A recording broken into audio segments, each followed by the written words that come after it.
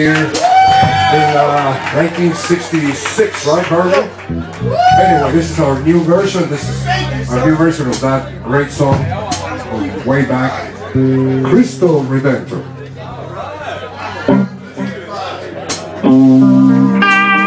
Thank